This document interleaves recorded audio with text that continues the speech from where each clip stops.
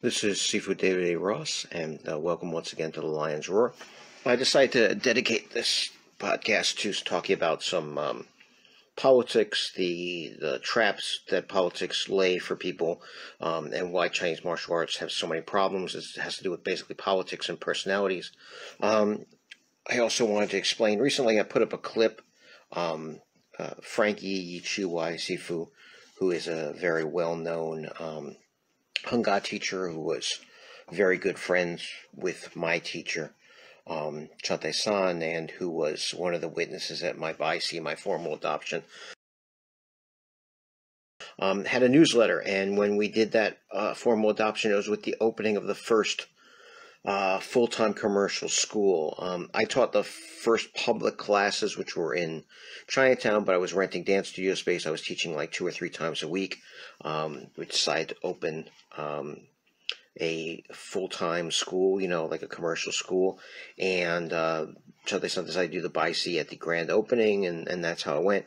And um, the newsletter covered about this. And of course, um, in covering this, it, it mentioned, um, you know, that person that, uh, you know, we've had a lot of uh, funny stories about who most people know who I'm going to talk about. Um, and I thought I would explain once again because, you know, like assuming that everyone has the same knowledge, you know, that everybody has been around in Chinese martial arts for the last 50 years and knows all the same things, uh, obviously is um, not uh, a good way to a- operate. You have to keep re educating people on the history. Um, we don't have history books, you know, this is the history of Kung Fu in America, and you should all know these things. Um, and the more we put it out, the better it is because people get a perspective. Um, I thought I would go into this because it's instructive, and then I'd go into something else. Um, everyone knows that I was doing Shuai Jiao, and I met Stephen Lorette at the Shuai Jiao school. And Stephen Lorette then said, "Oh, Chan Tai San is back in New York. Would you like to meet him?" And I said yes, and uh, we brought Stephen Ventura along, and the rest is history. Um, so we were originally training with him um, first in the Dukchan, which is the the Chan Family Association in New York City's Chinatown, and then um, uh, we we believe that because he was teaching Americans, he got pushed out. Um, we're not 100% sure, but then he had to move out and he moved back into Brooklyn with his wife. And then we were training with Brooklyn. And like I said, I started the first public classes, which were on Lafayette Street. I was renting space um, by the hour at a place that was called Musical Theater Works. Um, and we were teaching. And um, this is at the point at which you know we, we gained a lot of people that came from the outside and a lot of the people that later on became figures in Chan Tai San's group. Um, the person that decided to open the commercial school because they always had wanted to open a commercial school, and I'm going to leave out names, but everybody will know who these people are. I'm just not going to name them. Um, the person that wanted to open this school, who had been training first with me and then started training with Chan Tai San and put together the money, uh, and I helped put together some of the money and gave them a lot of weapons that I had had and everything, um, was also a bit of a kung fu movie fanatic. Um, to the point which they, they literally kind of believed that kung fu movies were reality, and we kept trying to say to them it's a little different. To the point where I said, you know, at one point they went to Hong Kong and they met with the Lau family, you know, the famous, you know, uh, Shaolin 36 Chamber, you know, movie family. And uh, he asked them about something and they were like, but that's a movie. So, you know, good, bad, or indifferent, but a lot of Americans uh, fell in love with the Kung Fu movies. I love the Kung Fu movies. I just didn't believe they were reality. Um, but it, it kind of predisposed him to sort of make this really bad choice, which we all live to, to have to deal with for you know decades later, which was that um, he was fascinated with the idea of monkey kung fu, and of course now everybody's gonna know who I'm talking about, right? Um, so he was led to believe that there was a person in Long Island who knew monkey kung fu, and wanted to bring him in so that they could learn monkey kung fu and open a school. And he said, well, of course, if you're teaching monkey kung fu, and this is the other big mistake, the idea that if you teach something cool, like out of a kung fu movie, that somehow is going to translate to monetary success, which it didn't. Um, but wanted to bring this person in. So this person was brought in, and they were brought into the organization. They were brought in very late. Um, later on, they said that they were adopted as a child by Chan Tai San, which is hysterical because they were 24 when they met Chan Tai San. Um, they also like to talk about training with Chan Tai San before he was in the United States. Um, there are a lot of people that do that, claim, you know, they want to jump up on somebody, so they want to claim, I was training with him back at this time. Well, he was in China at that time. Um, you know, or people in China that claim they trained with him after he left and he didn't go back. Um, he went back very late in life for, for a very short period of time when he married his second wife. But that's a whole other story that I'm not getting into at this moment. Um, so he was brought into the group, introduced to Chan Tai San, was given an opportunity to learn. He was a traveling salesman. He literally sold steak knives out of the trunk of his car. It's neither here nor there. But he didn't train very often because he was almost always on the road. But he was going to be a partner in this new school because he was going to teach monkey kung fu. And um, the person that was the financial person, the, the majority owner, so to speak, in the school, wanted to bring him in. And it turned out to be a mistake because it turned out not only that he didn't bother to learn Chan Tai San's material, but yet, you know, once he latched on to Chan Tai San, said he did Chan Tai San material. Um, what happened was um, if you look on the internet, you'll see a, lot of tapes. And this is the other funny thing. This was tapes of us, mostly me actually, walking through forms. And people were like, hey, look how slow they are. It looks like they're walking through it. And the tape starts off with, this is us preserving forms and at walk through pace. But people can't even read. So they can't read the first six seconds of the video where it says we're walking through. So there was all these forms that was taped so that we would preserve the material. And he would go into the office, stick in a VHS tape, watch the, the, the form, and then come out and try to teach it. And even then, he you know messed things up, and people know this because they were there. Um, you know, and, and even when he broke away from the original Long Island school and tried to open his own school, it was the same thing. So he was, you know, effectively part of Chan Tai San's organization, but he maybe trained with him I'm going to be generous here and say 10 or 15 hours the whole time that he was there. Um, he was not around. And you can look at pictures when San would come down to the Lafayette Street School to train us. Who was in those pictures? I don't know. Maybe I'll, I'll stick it up in the. I'm going to make this a public one, so I'm going to stick it up publicly, and maybe I'll stick up some pictures of the, the group, and you'll see that person is not in those pictures.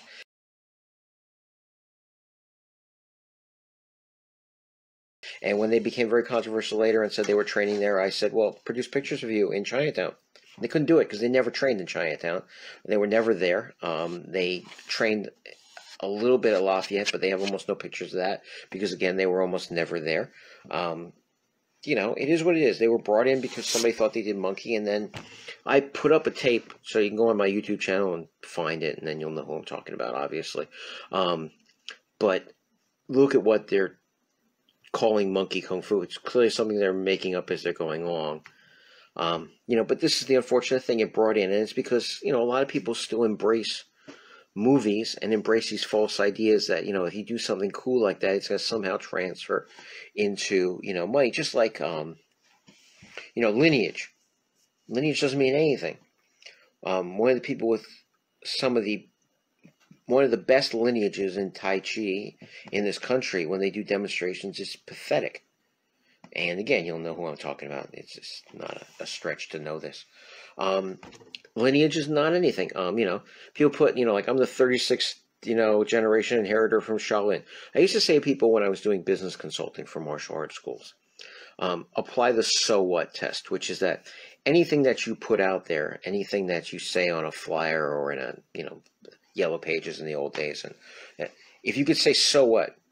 36th generation disciple of Shaolin, so what? Monkey Kung Fu, so what? Um, you know, uh, anything. I mean, you know, eh, eh, that these people, most people, well, most people, but think about self defense. It's hard to say so what to. Well, you want to learn self defense. Um, get healthy, yes. Lose some weight, yes. These are not so what things. But Kung Fu is full of so much so what stuff you know, iron palm and iron body. Uh, so what? I mean, I'm not saying those aren't good training, but um, trying to make a success out of commercial martial arts school is not as easy as I'm going to teach monkey kung fu. And so we got stuck with this person that really shouldn't have had anything to do with the tradition um, because of that. I'm going to move on a little bit. And again, I'm, I'm redacting the names to protect the, the, the guilty. I mean, I do that all the time, but it's just it just makes life simpler. Um, and what's funny is sometimes I put up stuff. I put up something on Facebook, and again, it's redacted, and you know that somebody's gonna come on and go like, blah blah blah. blah. Well, we didn't name any names. We didn't even name what system they're talking about. If you're responding to it and being defensive about it, what does that say? You, you know it's you, right? It's one of the reasons I do it also because then it's, you know it's, it's self obvious. You can't come out and go, hey, well that's I, that's not true about me. Well, how do you know I was talking about you? I'm not talking about. So there are a lot of Chinese martial arts systems. There are a lot of very good Chinese martial arts systems. There's a lot of very effective Chinese martial arts systems. Almost none of them are big. I mean, you could say Wing Chun is big because it's a big system. Hung Gar is big. It's a big system. There's a lot of people. But then again, big compared to like, you know, Taekwondo, Judo, Olympic Judo, Olympic Taekwondo, um, you know, even Tai Chi, just as an activity. But but again, um, Chinese martial arts are so woefully behind, and you have to ask yourself, well, why are they so woefully behind? And you know, one of the answers is people. People get in the way. Look at a system, right? The teacher dies, and then everybody wants to be the head of the system. And instead of saying, well, let's pick the most knowledgeable person, that would be one way of doing it, or let's pick, you know, somebody that can help advance the system, because maybe it maybe is not the best fighter. Um, maybe instead it's the, you know, the, the guy, somebody who has some money. There's been people that have been chosen to run systems because they had some money and some connections, and idea was they were supposed to promote the system. So, um, maybe that's it. But anyways, what happens inevitably is everybody wants to be. You know, everybody wants to be the, the, the, the chief and nobody wants to be the Indians, right? I think that's the, the old expression. So they start fighting, and then what they do is they break up into different organizations. And you know, my big thing with organizations, I'm not big on organizations, I'm not big on ranking, I'm not big on any of these things, um, is what is the rationale between an organization? I have a blog post even about this. Um, I guess I should repost at some point. But an organization should serve a purpose, and it should be a, a, a you know, a win, what do we call a win-win situation, which is it should be mutually beneficial. Um, I've belonged reluctantly, or in one sense, forced into um, an organization where you know you're forced to do it, and the organization exists to make the organization rich and to screw the people in the organization. Well, obviously nobody's going to like that, and at some point they're going to break away. Um, if an organization exists just so basically everybody can like have a rubber chicken dinner every once in a while and you know hand out plaques, well, I guess some people like plaques and you know uh, mutual admiration societies and that kind of thing. But I've always said you know a Chinese martial arts organization should offer activities that support the schools should offer business advice to schools, um, should offer educational materials, should promote the system in general. But people don't do that. They break into all these different styles so they can promote themselves, you know, to ranks that they never were when their teacher died. Um, you know, I, I was once told that the highest rank in Japanese karate originally was fifth dan, and then of course they made ninth dan, and then you know ninth dan no longer became um, good enough, so then it started becoming like tenth and eleventh and twelfth dan, and you know, how many, how many degrees do you need? I mean, you know, I, I don't like any rank.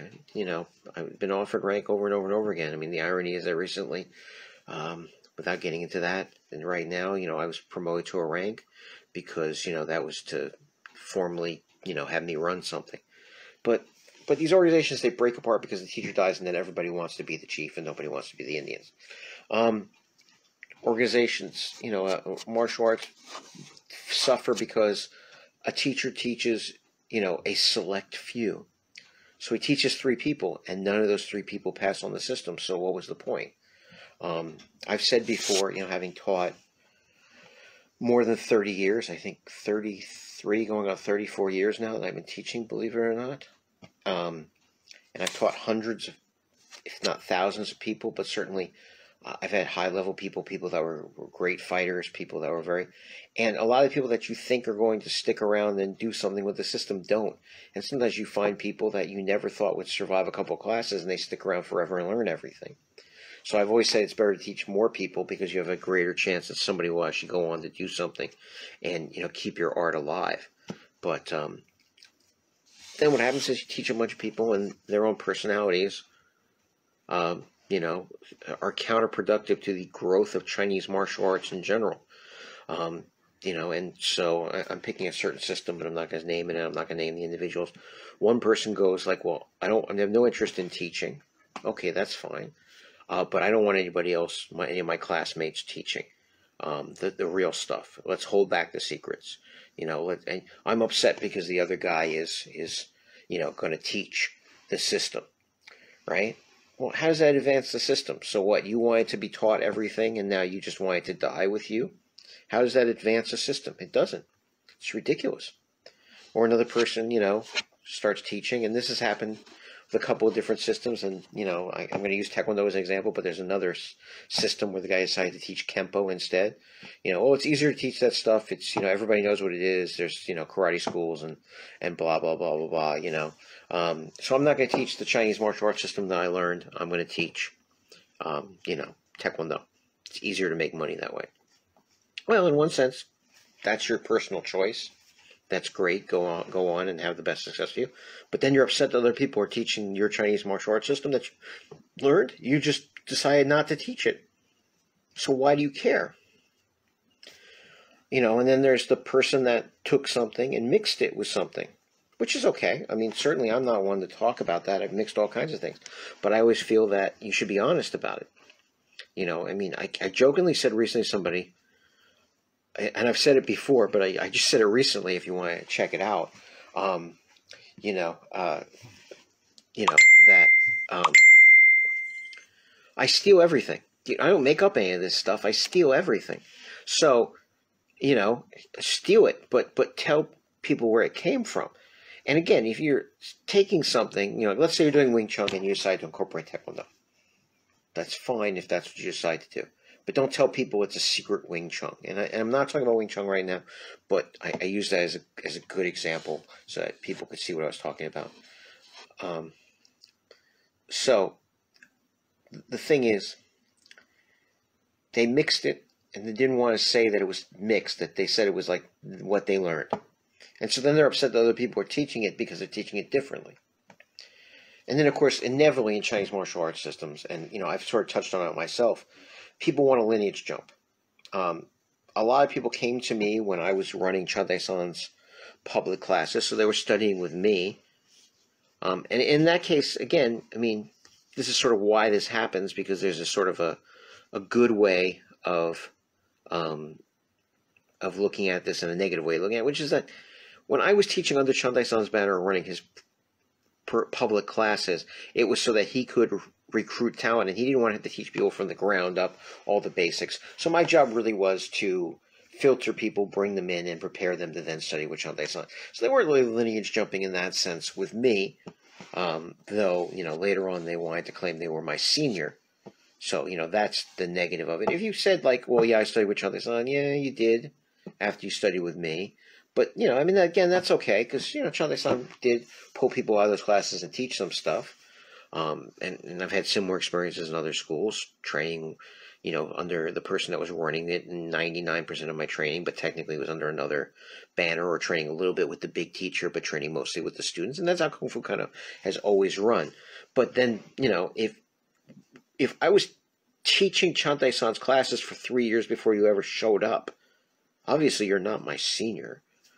you know, um, and and lineage jumping in other traditions, um, you know, Lama Pai, particularly with Wang Lum, was ridiculous. Where people literally like you know didn't want to be associated with their own primary teacher, so they ran around to Wang Lum, who was old and retired and not happy about being retired, and gave him money, and suddenly they became Wang Lum students. And you know, then the story was was they learned the real stuff from Wang Lum. You know, even though he was basically crippled and blind by the time this happened. So you know, there's lineage jumping, but this is why martial, Chinese martial arts don't move forward because you know people uh, are are too obsessed with um, you know uh, these petty little things. You know, people want to say like, well, you know, I, I know what he trained. Well, didn't he train ten or fifteen years before you did? You know, I, I, I use the thing of if you weren't in the room, how do you know what happened? Chinese martial arts is full of people that weren't in the room but are experts on what happened in the room. And sometimes it wasn't just that they weren't in the room, weren't in the city. There was a different decade. I mean, you know, uh, people talk about stuff that happened in the 70s and the 80s and they didn't start training until the 90s. So what does that tell you, you know? And, and the rumor mill, you know, the, the, the washing woman, the, the laundry women, the women at the laundry, you know, gossiping and gossiping, gossiping. Gossip is not fact. In fact, most of the time it's just gossip and it's by its natures, um, you know, not so uh, factual. So, you know, I see these things a lot. And again, I think Chinese martial arts wants to move forward in addition to training, you know, ch- changing the way we train. And a big thing about what I do is, is say, you know, in my books and in my instructionals and in my online programs and stuff, it's not what you train, it's how you train. It's the first thing I say. And then later on, I'll say, you know, like, I have this thing like five ways that you should train everything. And if those five ways are in effect, you'll be training effectively. And then later on, you'll find out that you'll train certain things certain ways, you know, um, and certain things will work and certain things won't work. But in general, I'm not trying to say, you know, by the things I talk about, I'm not necessarily negating a certain system or a certain group of techniques, you know, um, or, or, you know, all Chinese martial arts, certainly not. But we have to train more realistically. So, we have to change the way we train, obviously, but we also have to train the way that we think and we operate as groups. You know, everybody's always trying to, people like to act like it's a, you know, like it's one pie and the bigger your piece of pie, you know, the better. And if somebody has a piece of pie, it's going to take away from your piece of pie. Martial arts really don't work that way. Even in, I mean, I've talked about this again on the business side. Uh, what somebody else is doing has very little to do, really, in a big city. I mean, unless you're in a little, little tiny town. I'm in New York City, you know, another school, even across the street from me, you know, is, is not really an indicator of my success or my failure.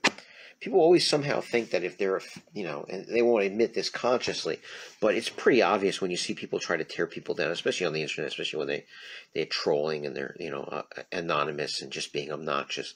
You know, they they think that it, deep down inside, they may not even admit it to themselves, but they think that their failure is because of someone else's success. So they need to tear down that success. So that's why everybody that has a big commercial school has seen criticism online. Anybody that's put out a DVD series or put out a book sees criticism. And it's very simple. It's because the people that, you know, I, remember once we were having a dispute with the Chinatown organization. And we told them basically, like, listen, we just don't want anything to do with you. And they tried to, like, strong arm us. And they sent some guy down to, like, I don't know, like, try to convince us. It was kind of stupid. So he showed up with all three of his students. And I'm not being facetious here. The guy had three students. And he walked into our big gym on 17th Street. And there was like 25, 30 people in a class. We had like over 200 students. And he was trying to tell us how the organization was going to help us be successful. And we're like, oh, and you have three students and we have 200 students. You know, and I'm sure those guys were like, oh, you know, and that's the, the sellout thing, you know, oh, they're a sellout because they have a lot of students. People should just mind their own business. They really should do their own thing. Whatever it is you want to do. I mean, if you notice, like, I'll tell you straight up if you're just, you know, making up stuff and I, and I correct non-factual stuff. But like I said, if you wanted to, if you told me that you were mixing Tai Chi, Wing Chun, and, uh, you know, uh, Taekwondo, and that's what you were teaching, I'd say, okay, great. I mean, that kind of stuff I don't have issues with. Do whatever it is you want to do. Um, if you want to take Judo and mix it with, you know, um, uh, I don't know, um, Goju-Ryu, um, that would be actually a pretty logical thing. But uh, say like you took like Fukien's white crane and you mixed it with capoeira. Okay, there, there's good. People go, what? But I don't care. That's okay. So don't worry about what I'm doing. And, and don't, you know, we always try to tear each other. It's, it's not a zero sum game. So you don't need to tear people down. If you're not successful, it's because of you. It has nothing to do with somebody else. And guess what? Even if you somehow tore them down and they sold less books or less DVDs, whatever it is you think you're going to do, and most of the time you're not going to do it because people are a lot smarter than you take them to be if you're trying to anonymously rip people down on the internet. It's not going to make you successful. You know, uh, kingdoms have fallen and the other kingdom didn't just rise up. It's not like they're on a seesaw. This is the problem. You know, I mean, I, I, say this because, in you know, and again, I'm usually responding to things that are going on around me because I've been talking to people in other systems that are not necessarily related to things that I do, or people that would be in what people think of as opposing systems. And we've talked about, you know, mutual projects to basically, you know, when the when the water rises, all the boats rise. That's the theory that I embrace, not the uh, you know crabs in a barrel where every crab that tries to crawl up, another crab pulls them down, so nobody ever gets out of the barrel. That's just it's it's not going to help anything. It's not going to uh, move anything forward. Chinese martial arts again potentially be great things because we can teach people practical martial arts, good fitness, good body awareness, good health. There's just so many things we could do. Um, the real Chinese martial arts are really a lot like mixed martial arts, so we can compete with that market. You know, um, with a with a stronger tradition, we can embrace elements that people associate with traditional martial arts that would be good for you know commercial reasons but we're just mired in our own, you know, like politics and selfishness and and nonsense. And uh, I, I, wanted to give you some examples of this. And you know, again, uh, one of them, you know, we, we got stuck with somebody who never should have been brought into the organization from short sightedness that you know we had to deal with for decades afterwards. And so many people do. They live in that kung fu men, you know, movie mentality, which has nothing to do with reality. And you know, the the people that I'm talking about are real examples of a real organization. So, once again, thank you so much for tuning in for Lions Roar, and have a pleasant evening.